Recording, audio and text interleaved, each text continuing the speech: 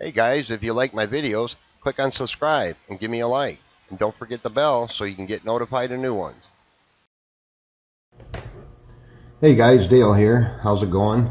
Uh, for this video, I have a older, probably about three, four year old Asus ROG gaming laptop.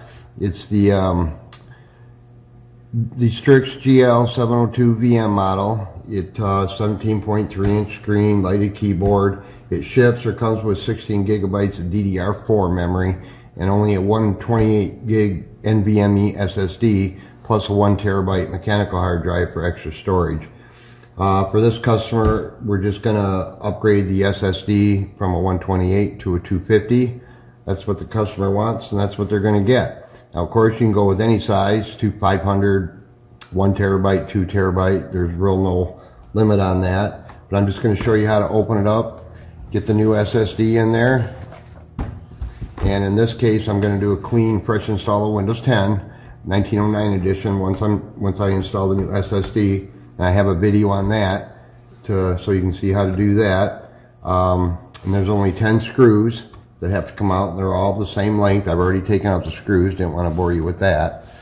That part's pretty simple. So I'm going to peel it open and see what I can do to get started here.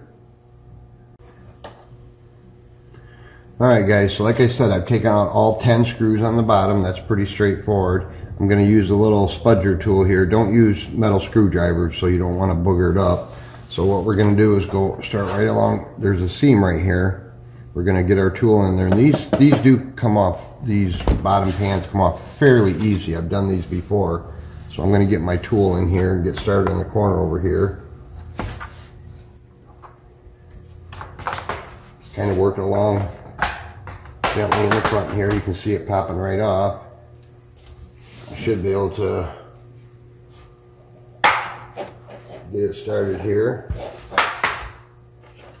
You can see that didn't take much at all. So they got the bottom pan off, no big deal.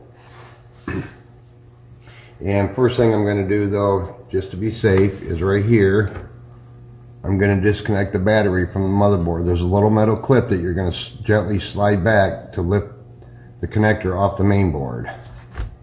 So use a plastic tool, please. Don't use any metal tools in here. These come off pretty easy.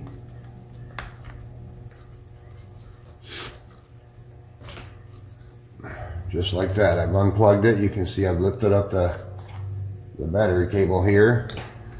Just to be safe.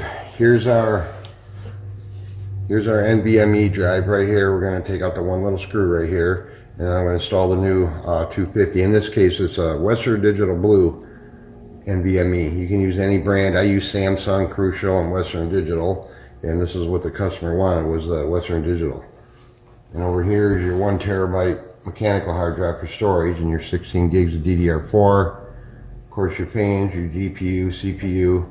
This has six gigabytes of dedicated RAM just for the video, so that's kind of nice battery life ain't the greatest. Uh, the G-Sync is kind of notorious for sucking battery. So what I'm going to do is take my screwdriver carefully. I'm going to take out this little screw right here. Get my NVMe SSD out. And it pulls right out of the slot just like that. I'm going to put the new one in its place.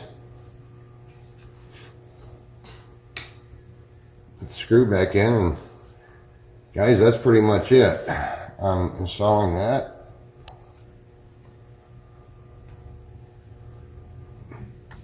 I've taken the motherboards out of these models as well that's not quite so easy but very doable so watch your speakers of course you want to let those get out of place so now I'm going to reconnect your, my, my battery here you see it just pushes back down, but you got to remember to push this little metal clip back in place.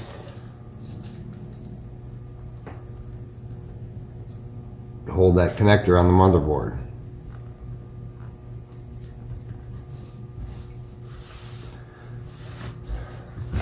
So there, I got the new NVMe drive in right there. Put the screw back in. It's pretty much that simple. This model has the Intel Skylake i7 7700 HQ processor in it. It's pretty fast. Just snap the bottom pan back on. Take your time with it.